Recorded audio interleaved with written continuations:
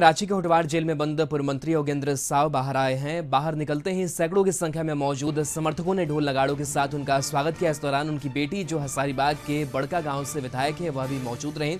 बता दें कि पूर्व मंत्री चिरुडी हत्याकांड में आरोपी हैं। पूर्व मंत्री योगेंद्र साव और उनकी पत्नी और पूर्व विधायक निर्मला देवी को अदालत ने दोषी करार दिया था, जबकि पुत्र अंकित कुमार को अदालत ने बरी कर दिया था।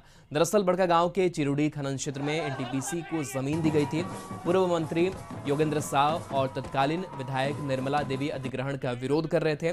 15 सितंबर 2016 को निर्मला देवी समर्थकों के साथ कफन सत्याग्रह पर बैठ गई। यह सत्याग्रह 30 सितंबर तक जारी रहा।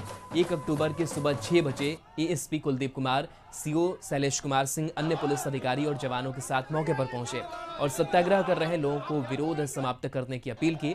नहीं मानने पर पुलिस बल ने विधायक निर्मला देवी को हिरासत में ले लिया। इसके बाद पुलिस के साथ हिंसक झड़प हो गई। भीड़ ने पुलिस टीम पर हमला कर विधायक को छुड़ा लिया था, जिसमें चार लोगों की मौत हो गई थी। होटवार जेल से बाहर निकलने पूर्व मंत्री योगेंद्र साव ने कहा कि मैं निर्दोष हूँ, मुझे इस मामले में फंसाया गया, मैं जनता की लड़ाई, लड़के ही मैं जेल गया हूँ और आगे भी लड़ाई लड़ता रहूँगा। जनता के लिए जल जंगल ज़मीन की लड़ाई मेरी जारी रहेगी। मेरी पत्नी जल्दी जेल से रिहा होगी।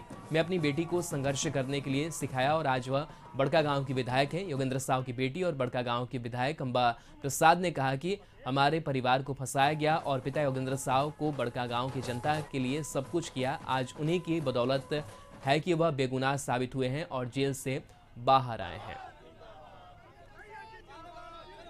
न्याय के लिए हमेशा आवाज़ बनते रहेंगे।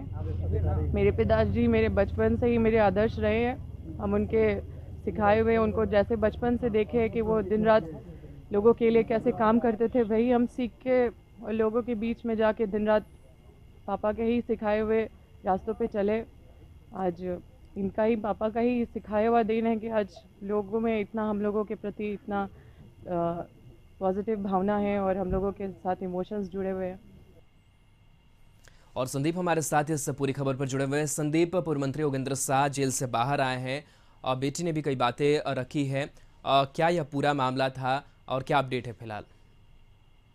यह पूरा मामला दो हज़ार सोलह का है और जब बड़का गाँव में चिरूटी खनन क्षेत्र में एनटीपीसी के द्वारा ज़मीन अधिग्रहण किया जा रहा था, उस वक्त जो पूर्व विधायक थी निर्मला देवी वो वहाँ पे सत्याग्रह आंदोलन कर रही थी और उसके बाद सत्याग्रह आंदोलन के दरमियान ही पुलिस ने उनकी गिरफ्तारी की थी और योगेंद्र साव जो थे उनको छुड़ाने के लिए वहाँ पे पहुँचे थे और पुलिस और इनके बीच झड़प हुई थी और यह मामला दर्ज हुआ था, जिसके बाद इनकी गिरफ्तारी हुई थी और आज कहीं ना कहीं इस मामले में वे हुए हैं होटवार जेल से आज बाहर निकले हैं।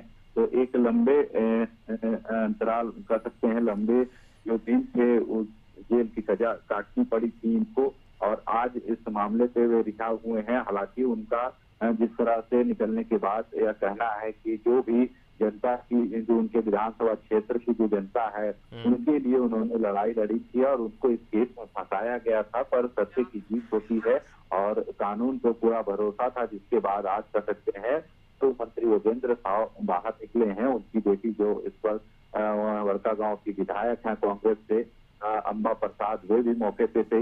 उसके अलावे जो अनूप सिंह जो कांग्रेस के विधायक हैं सभी होटवार पहुँचे थे और निकलने के बाद कहीं ना कहीं योगेंद्र साहु का जो स्वागत है निकलने के बाद ढोल नगाड़ों के साथ की गई है। योगेंद्र साहु ने साफ़ तौर से कहा है कि वे शुरू से ही अपने जो जनता है उनके लिए बिल्कुल तो लड़ाई वो लड़ते रहे लड़ाई लड़ते रहेंगे ये बातें उन्होंने कही है। निकलने के बाद बहुत बहुत शुक्रिया फ़िलहाल तमाम जानकारी के लिए। संदीप आपका